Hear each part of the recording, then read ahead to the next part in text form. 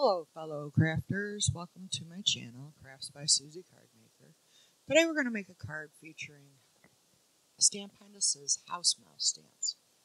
They're very cute and they're a lot of fun to color. So we start off by stamping Warm Cup, which is the name of this stamp, onto some Neenah 80 pound solar white with Simon Says stamp black intense ink. We're going to color the mouse with some warm Copic colors. I usually start coloring dark and then go to light. However, I am going to attempt to go from light to dark later on in this video because I see that is what most Copics, Copic users do. So I'm coloring the mouse, like I said, with some warm gray colors.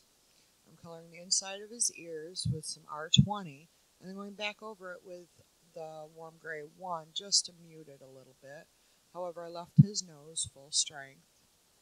And now I'm covering his face with some earth tones. And then going in with a darker color to add in my shadows and then I'll blend that all out.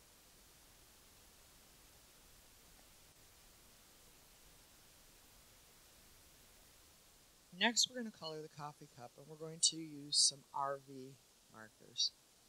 Um, I'm going in with a light shade. I'm marking all my shadows so that I know where to find them. And then I'm going to go in with my medium tone. And the good thing about these stamps is that the designer basically tells you where to add your shading. So here's my midtone. And I'm just going to go over a lot of the places I already stamped and blend it out a little farther. And these stamps are just adorable. Um, I've just started collecting them and I'm in love with every one of them.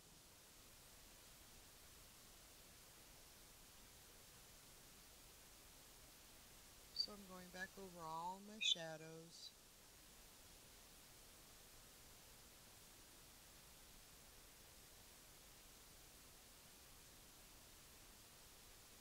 And then I'm this time I'm coming in with my midtone. I'm sorry, the last one was my dark, my darkest.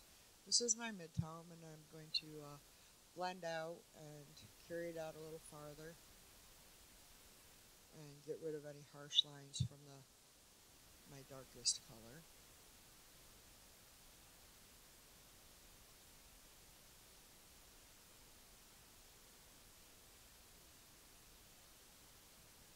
And then I'm going to come in with my lightest RV marker and blend everything together.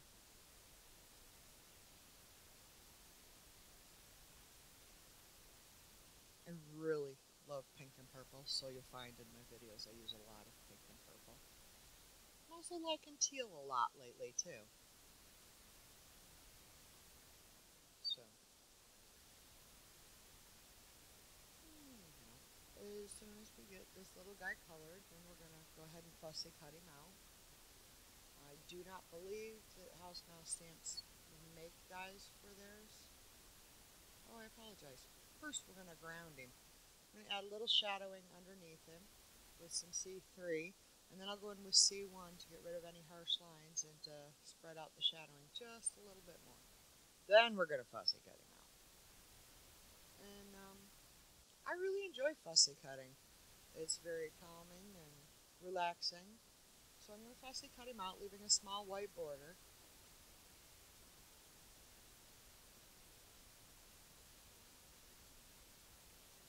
I usually do this like at night when I'm watching TV or something. Then I'll go ahead and fussy cut any images I've colored throughout the day.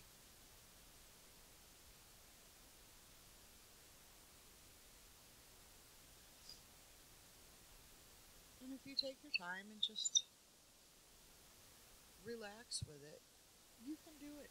It's really not that difficult.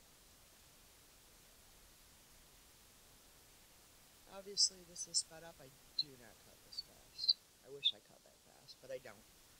So we're going to go ahead and finish fussy cutting them out, and then I'm going to pull out my Fiskars. Um, totally lost my train of thought. Craft knife, and I'm going to cut out the hole between the in the handle there, in the handle area, and get that trimmed out. I'm not very good with a craft knife, or at least not that one. I've tried a couple different ones that I really didn't like.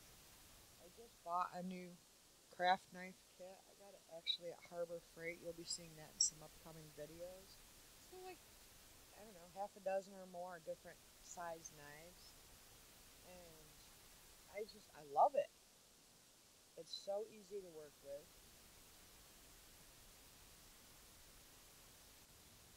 It's got eight different nice knife sizes. Um, very tiny to very big. So now that we've got our little mouse all cut out, we're going to work on our card base. Our card base is some Recollections 65 pound brown, and I'm using the stamp set by Fiskars called Latte Love. I'm taking the two coffee beans and I'm using some Memento Rich Cocoa and creating a tone on tone background. and I'm just rotating my stamp and stamping them every which way to just kind of make it look random.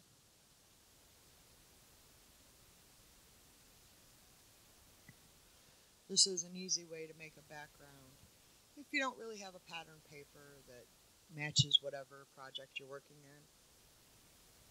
This is a really easy way to uh,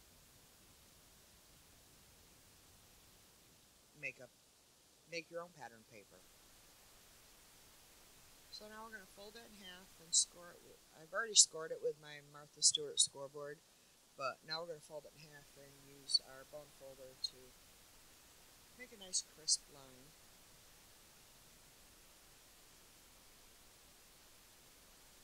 And then this is where I decided I needed something to ground my coffee cup. I wish I'd have done this before I did all the stamp, all the little coffee beans, but I didn't. This is a row of coffee beans from from the same stamp set, Latte Love. And so I went ahead and I stamped it in there with that, again with the Memento Cocoa, Rich Cocoa. And now I'm going to color them in with my Copic markers and just to make them stand out more. So I color them all in with one of my darker E markers. And then I'm going to take another one and I'm going to go back through and draw the line down the center of the coffee bean.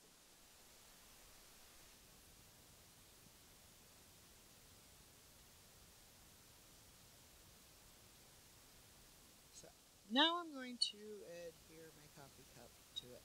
And I'm using some foam dots that I think I got from my stepmother. Um, and with these foam dots, it leaves a lot of space behind. As you can see, there's the holes where I've already used some. Don't throw that part out. Use every piece of that. It's all sticky, so you might as well use it. As you see, I start trimming it here in just a second. Well, I kind of trimmed it off. But I trimmed off a piece and did the coffee cup handle, did part of the base where I made the shadow underneath the coffee mug. And then I'm going to remove all the backing paper and go ahead and stick it to my card base. And then it'll be time for my sentiment. For my sentiment, I pulled out a piece of Recollections craft colored paper I used a sentiment from the Latte Love. It says, Your kindness warms my heart. And I'm going to be stamping it in Versamark ink so I can heat emboss it. First, I go and use my powder tool to prevent any static. Any stray embossing powder from going places you don't want it to be.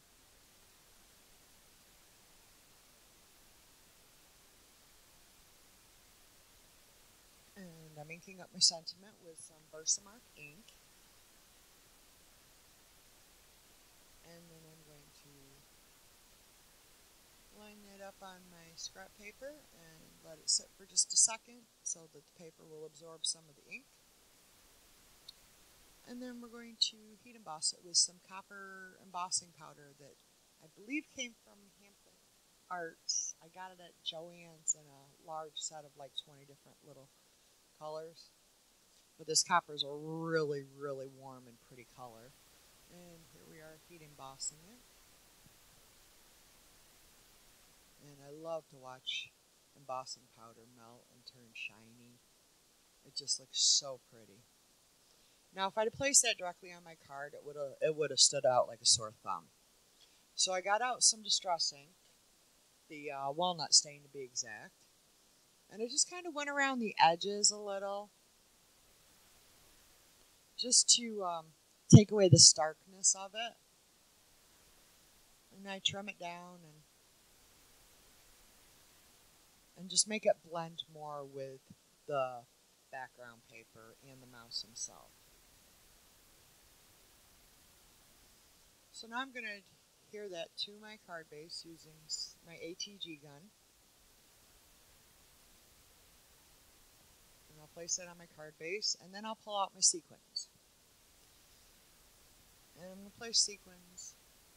I used some matte chocolate and some copper and some of the iridescent pink. Just sequins I've picked up in random places. And I'm using I'm securing them with my Ranger multimedia mat and using my quick picks pickup tool to um, help pick them up and, and adhere them. Now when I finish this, I'm looking at my card and it's like, no, I just don't like it.